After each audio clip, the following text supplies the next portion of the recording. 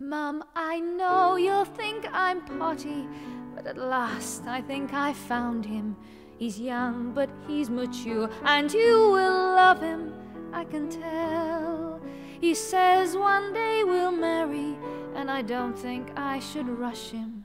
But if he gets his skates on, we can have some kids as well. There are lots of things I miss, Mum. No one makes a normal sandwich. You need Goliath's mouth to eat the ones New Yorkers buy.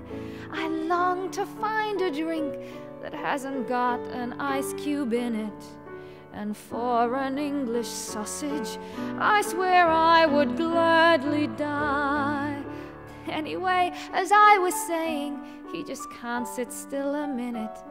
He's not like Neville Braithwaite, this one likes to dance all night. He does a lot of traveling, and when he goes, I miss him. For once, I think it's safe to say I'm doing something right.